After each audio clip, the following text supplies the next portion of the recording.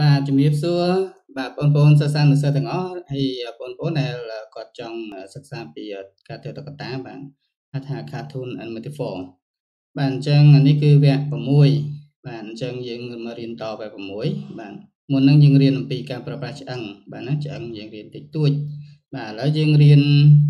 បាទអំពីការប្រើប្រាស់ motion បាទ motion ហ្នឹងបានន័យថាគឺសកម្មភាពសកម្មភាពហ្នឹងគឺកើតឡើងនេះ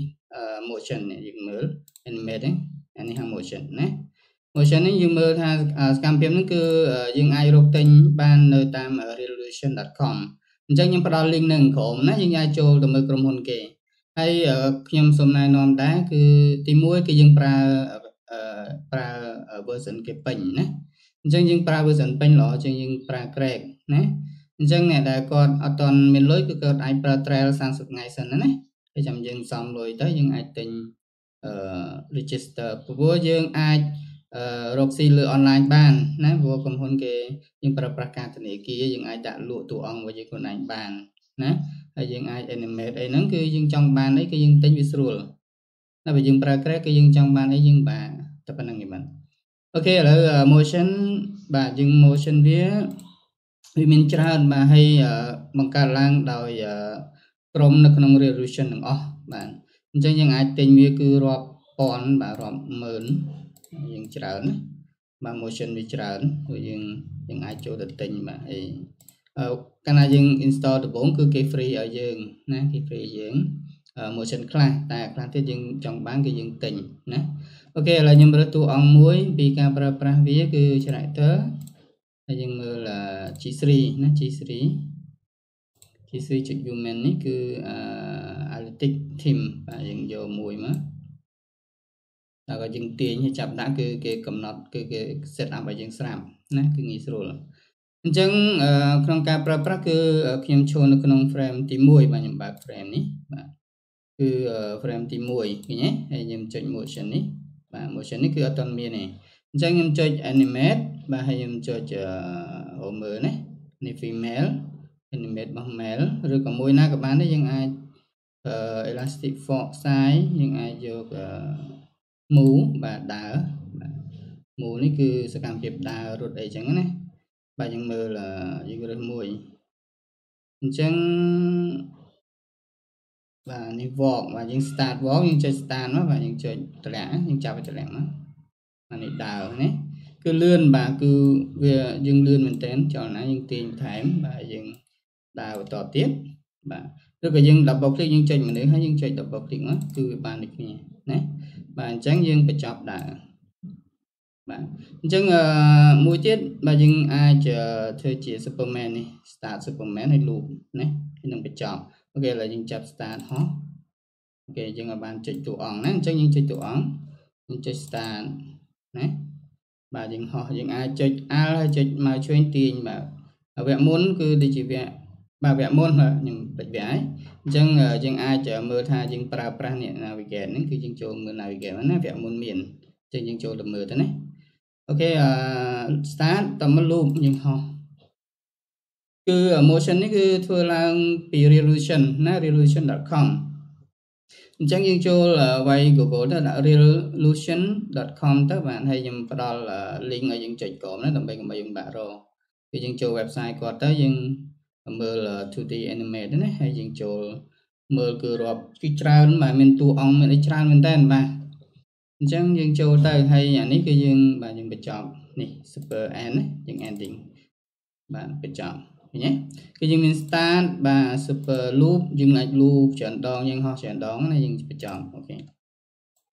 អញ្ចឹងយើងមើលយើងបញ្ចប់ទាំង frame frame ទី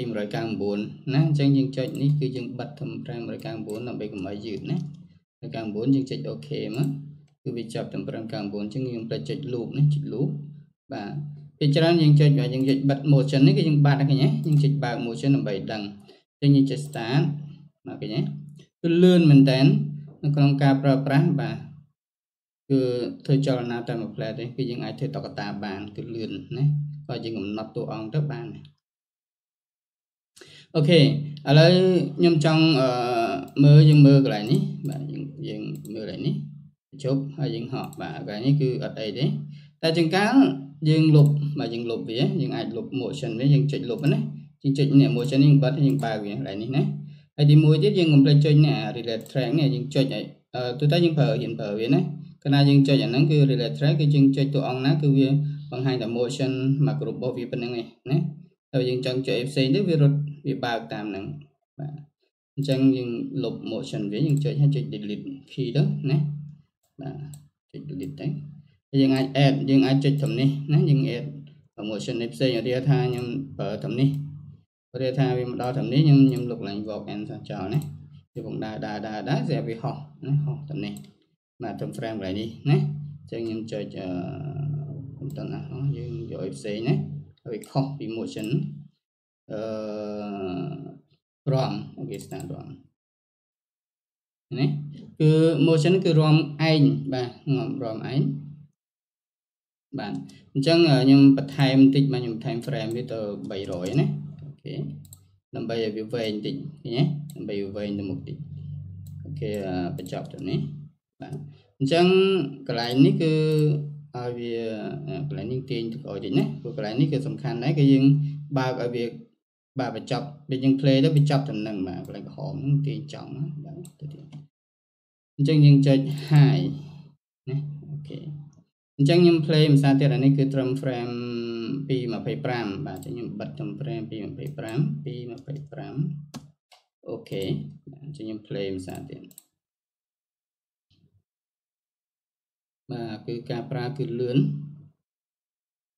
បាទយើងមើលអំបញ្ញមិញគឺមានកំហុសឆ្គងណា តើកំហុសឆ្គងហ្នឹងការរបៀបម៉េចជំមើលកំហុសឆ្គងគឺកន្លែងនេះណាយើងមើលយើងមើលនេះចំពងដើរដើរដើរយើងមើលកន្លែងនេះព្រឹបជប់អឺជប់កន្លែងណាមកចឹងនេះណាយកកន្លែងហោឆ្គងមួយ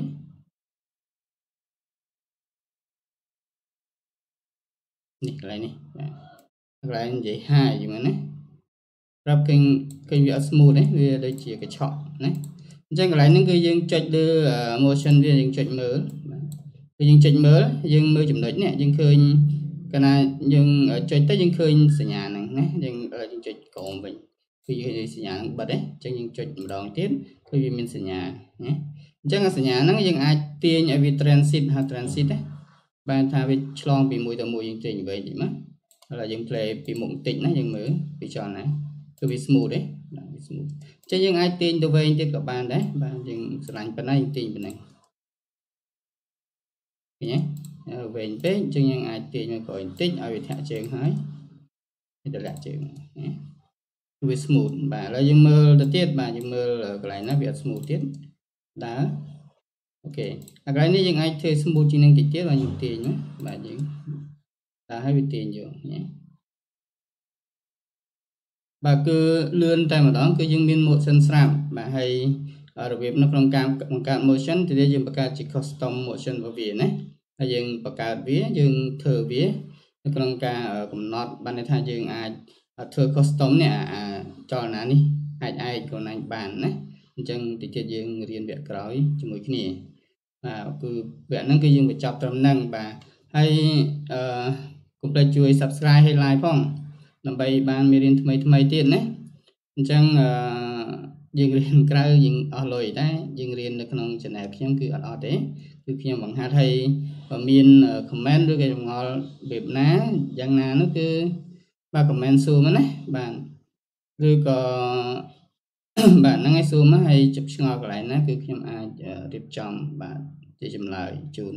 ដើម្បីឲ្យយើងទាំងអស់គ្នាបានរៀនផងបាទ ចឹងអរគុណបាទខ្ញុំបានបារាំងបាទសូមជម្រាបលាកុំភ្លេច Subscribe មួយមួយផងបាទបាយបាយ